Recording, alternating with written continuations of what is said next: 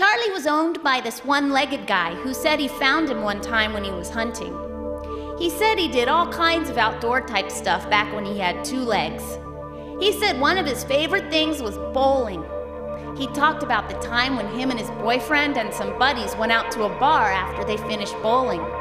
He said it was a kind of funny bar where some of the guys dressed like women. Well, they smoked too much and drank too much, and that's when he had his accident. Afterwards, he was in the hospital for a long time and thought his boyfriend might die, but everything was okay in the end, except for his leg.